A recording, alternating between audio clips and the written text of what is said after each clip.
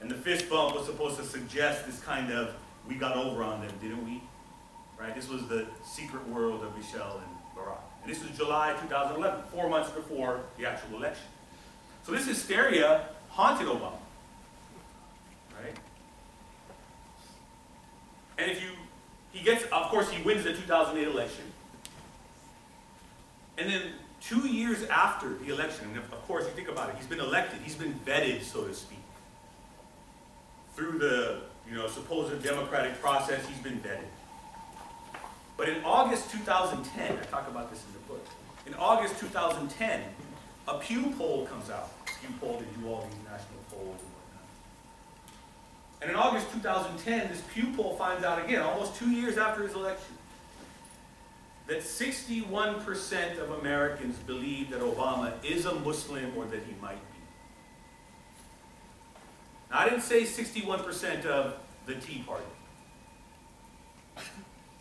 Or 61% of the Republican Party. 61% of you, based on how sample sizes go, not that Davis is indicative of America um, in any way, but 61% of Americans thought that he was or might be a Muslim in 2010.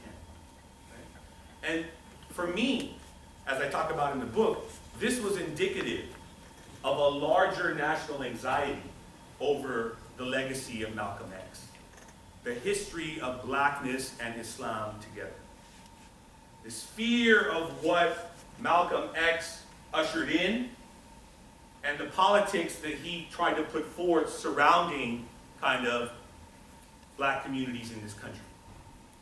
Right? This fear of the connection between blackness and Muslim that has been haunting Obama is in many ways a deeper anxiety over Malcolm himself.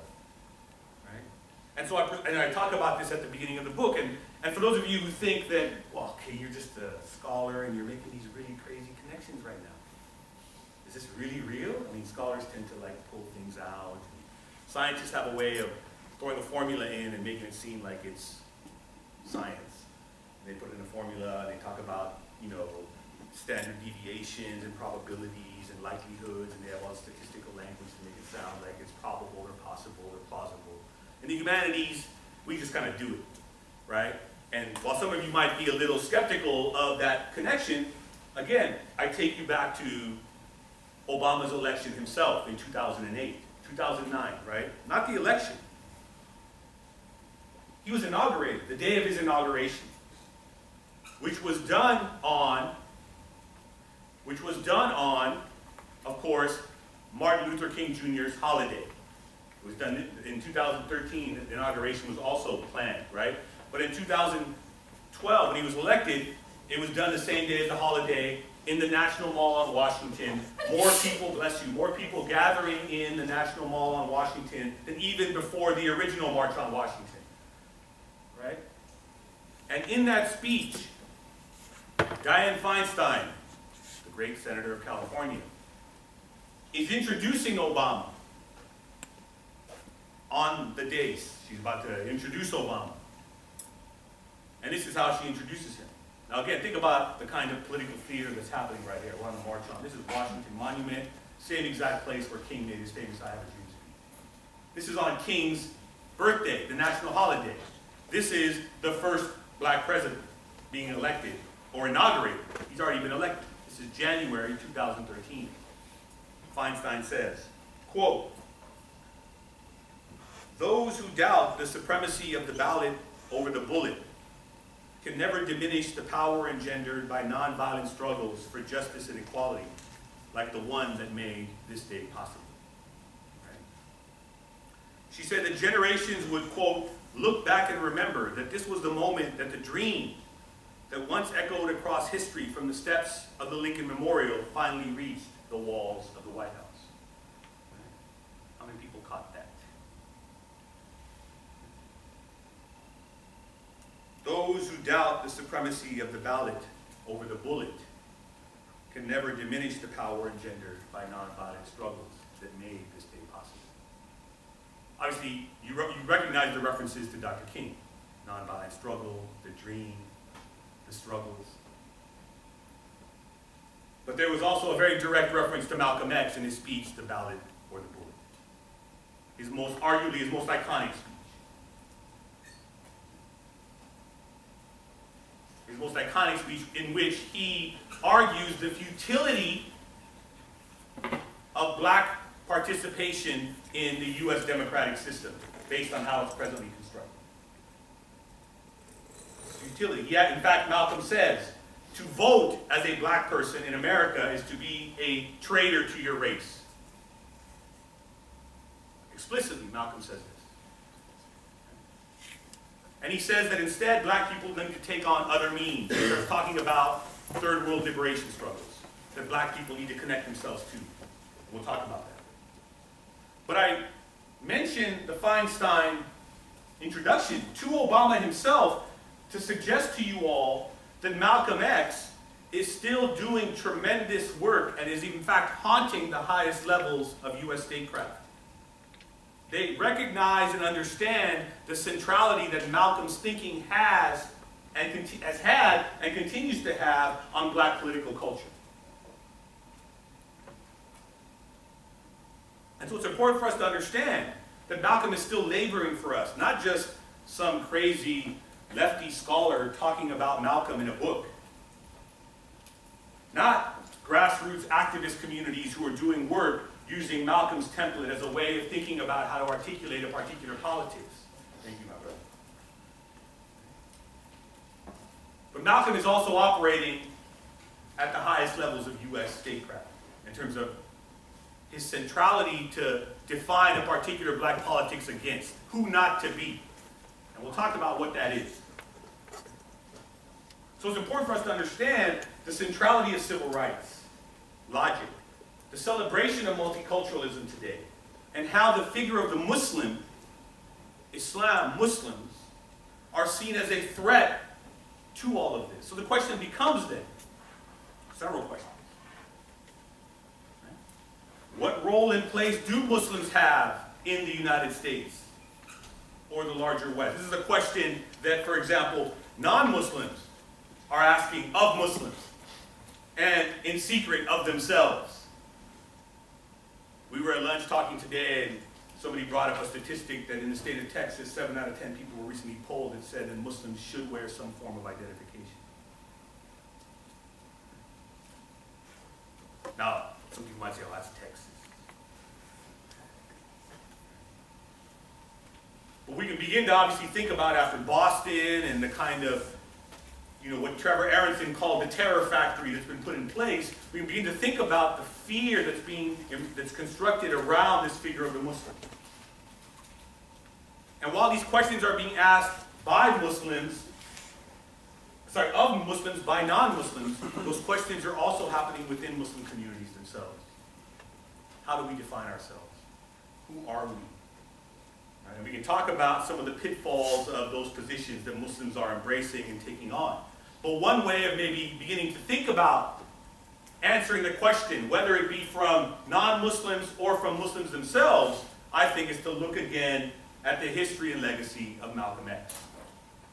Right? I think he provides a particular way of thinking about how Muslims can animate a particular kind of politics. And so in the book, I open up with chapter one talking about, bless you, I open up talking about Malcolm X and the way in which he imagined black communities in the United States not as a national minority, but as part of a global majority.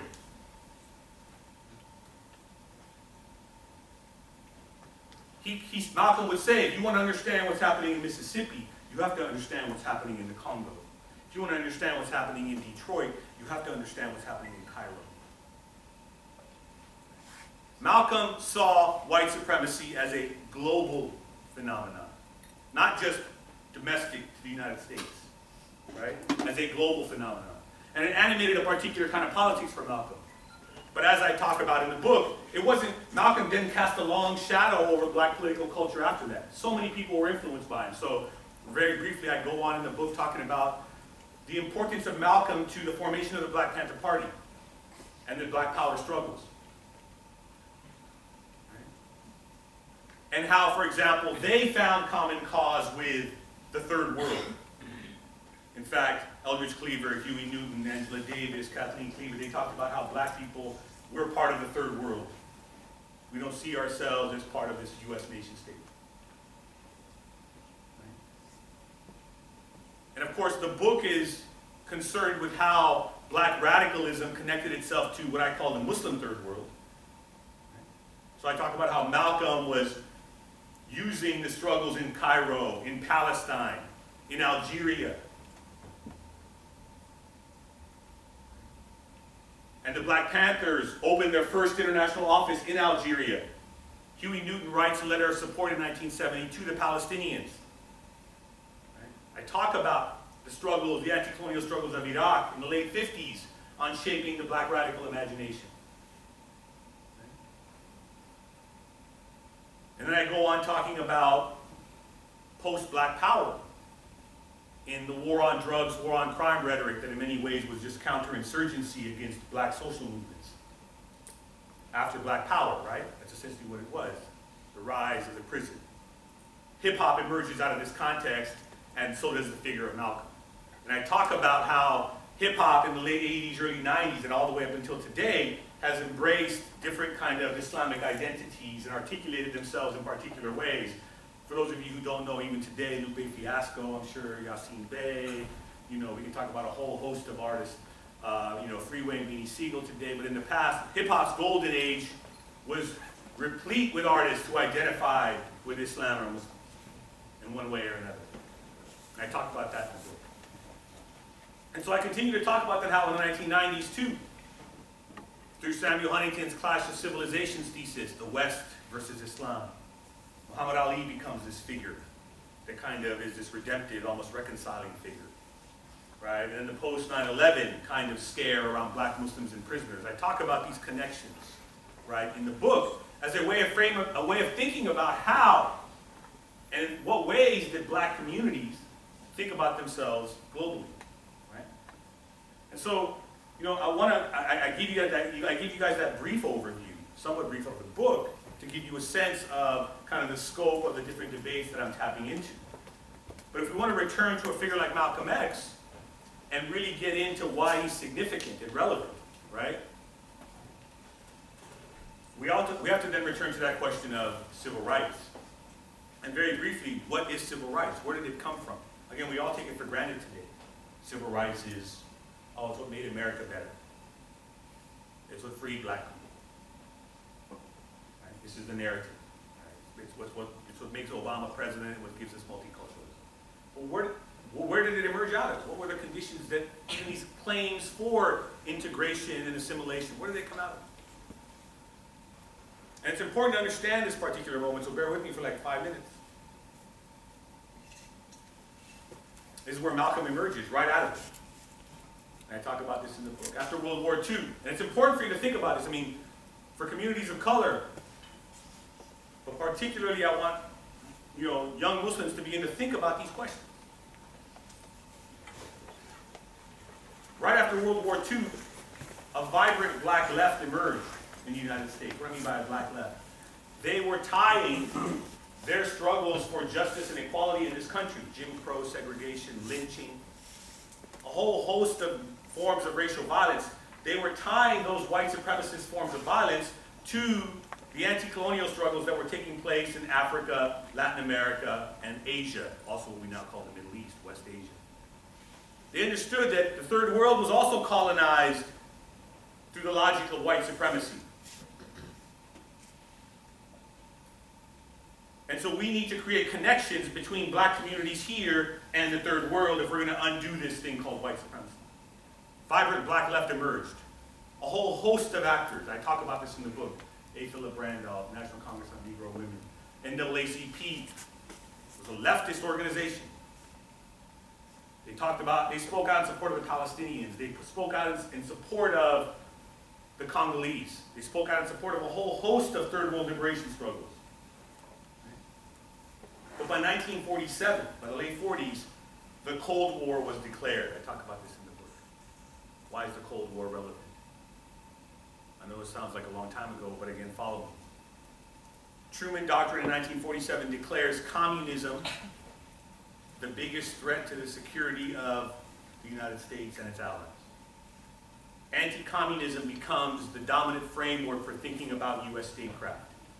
It's going to justify U.S. intervention abroad. Anywhere where a potential communist comes up, the U.S. is authorized to go in and squelch it.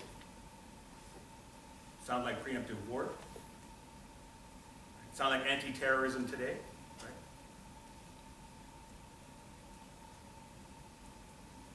Domestically, I'll get to the domestic picture in a second. On the foreign policy side, the argument was, right, and this becomes really important for thinking about Malcolm, the argument was that to the United States, as far as the United States logic was concerned, Europe was decimated by World War II. Hitler had run roughshod over the rest of Western Europe. Hitler really just wanted what England and France had. It was a battle over European powers. Hitler just wanted, both of them were master race philosophers. Western Europe, England and France, they were Western, they were master, they were Nazis just like Hitler, just with a different name. Aimé Césaire and a whole bunch of third world intellectuals point this to contradiction. You're no better than Hitler. You're just mad now that Hitler's doing to you what you've been doing to us. But Europe is decimated. And so the United States wants to assume global leadership, and the United States then, based on this Truman doctrine of anti-communism, assumes that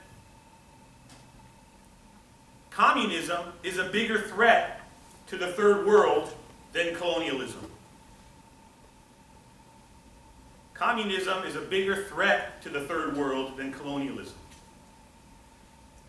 What that meant was the United States was going to underwrite and maintain colonial relations with the third world. Better to have them under the yoke of colonialism than to get free, create a vacuum of power where the British or the French or the Europeans weren't there anymore and the communists can come in and take over. So instead of giving them or allowing them or having their freedom be achieved, and face the possibility of communism coming in, whatever that is, the United States said, you know what, we're going to underwrite colonialism. We're going to maintain European control of the third world under our dominion. This became U.S. statecraft. They made a choice, communism or colonialism, as the bigger threat. And the U.S. said communism was. That became part of what U.S. statecraft was. So that what we're seeing today, the so-called Arab Spring and all these other, they're just a continuing struggle against forms of colonialism in one way or another, or the supporting of dictators in one way or another, or a Cold War dynamic in one way or another. Right? Third world never got free. Right? But it's also important for what it did domestically. Because to be labeled a communist domestically, the Smith Act said you were going to go to prison if you were a member of the Communist Party or you were associated with communism in one form or another. So it squelched and narrowed the range of dissent. You didn't want to speak out too critically about the United States. You might be labeled a communist and go to jail. And so what did that do to this black left that was so critical of the United States and the European powers and aligned themselves with the third world? What did it do? It split the black left. It split the black left.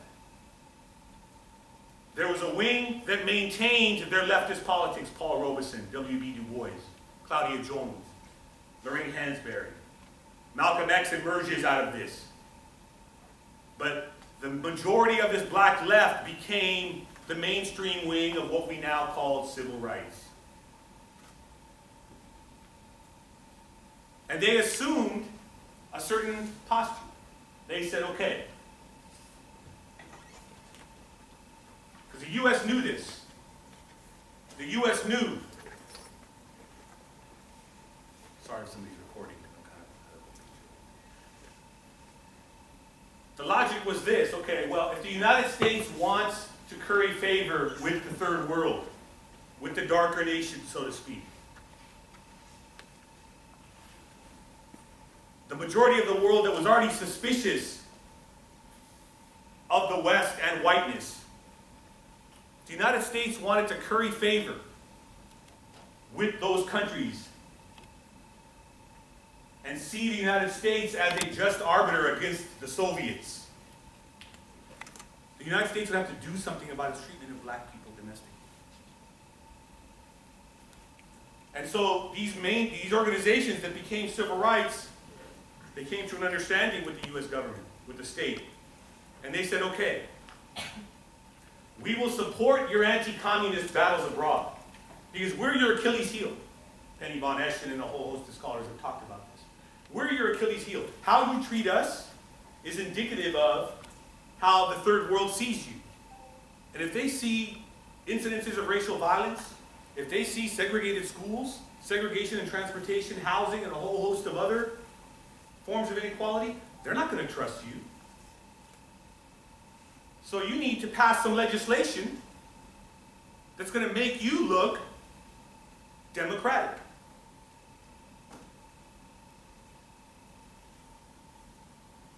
Now, I'm not here to argue, because I think it's unfair to do so, that this wing of the black left that became civil rights sold out.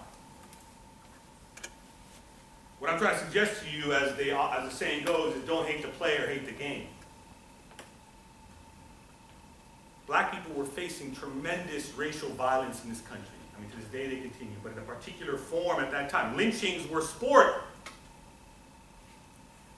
Segregation was in the books separate water fountains, intense, entrenched poverty. So black scholars, activists, uh, organizers, they were looking for some form of legislative relief. Pass an anti-lynching law, for God's sake. Desegregate transportation, housing, education. Do something. Give us some relief. And so, this understanding, this pact, so to speak, that God made, as Penny Von Eschen and others argued, right? In exchange for legislation bringing relief from racial violence, mainstream black organizations then supported U.S. foreign policy and anti-communist politics. They said, we will, we will support your anti-communist crusade if you grant us these rights domestically.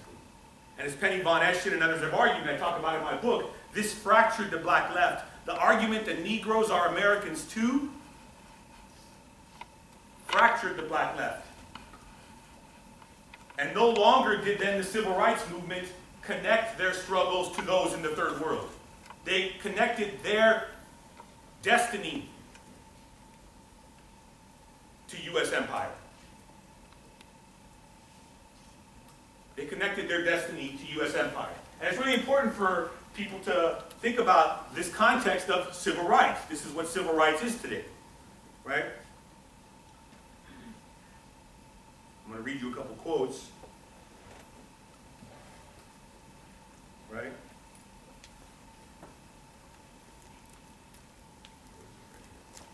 Okay. So this is, you know, the U.S for example, this is the Truman Commission on Civil Rights in 1946. Quote, throughout the Pacific, Latin America, Africa, the Near, Middle, and Far East, the treatment which our Negroes face is taken as a reflection of our attitudes toward all dark-skinned people and plays into the hands of communist propaganda, right? Um, Adam Clayton Powell, famous kind of black congressman, says, quote, and this became important because then blackness got used as a way of rebranding the United States. And these black activists participated in this logic. They said, quote, this is Adam Clayton Powell, quote, one dark face from the U.S. is as of much value as millions of dollars in economic aid to the third world, end quote. Ralph Bunche, historic figure, right? He argued that in order to win over Africa and Asia, quote, the legend of America as a liberalizing, world in force, liberalizing force in world affairs would and could be established because, quote, carefully chosen Negroes could prove more effective than whites owing to their unique ability to gain more readily the confidence of the native, end quote, right?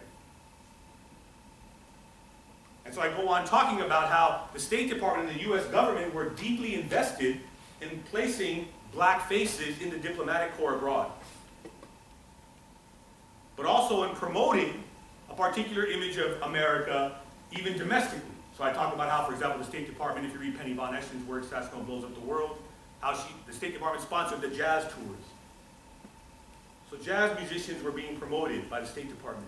Artists and writers were being sent around the world as a way of showing that America celebrates black people, black artistry, black, black intellect, etc. Again, we can think about that. We'll talk about today how the U.S. is doing that still with black folk, but especially with Muslims. State Department is sponsoring, sponsoring all kinds of outreach programs to send Muslims abroad, right? As a way of putting on a particular face. And of course, Obama becomes, think about how that image rebrands the United States to the rest of the world. But I say all this to you to say that this is what civil rights is. It's about, the logic of civil rights is about domesticating, as some have argued, domesticating blackness.